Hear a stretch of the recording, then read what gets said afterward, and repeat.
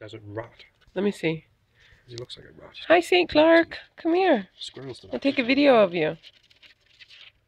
What are you doing? You're so cute. I'm Only wondering why a bunch of giants are breathing. Well, him. he obviously wants to come out. He's friendly. Hi, That baby. similar. Hello. Kinda. Yeah. Well, no, Might it's be the a big baby. eyes.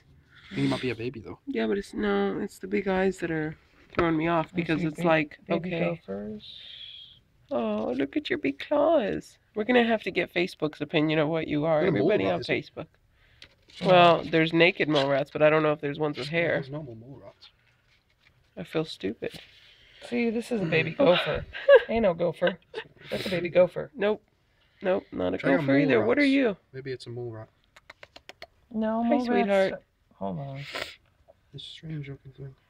Some sort of mouse, maybe. See that hole? He tried to chew that. Yeah, poor Well, look how friendly he get No, out. is. see, this is Hi, baby. No. Nope. What, What the are you, hell? baby? He looks like a mouse. That's the thing. isn't no, he? but he's too big. Mm. Maybe he's a big ass mouse. rodents. Sweetie. Might be one of them fucking obscure things with a weird ass name. Baby, where you?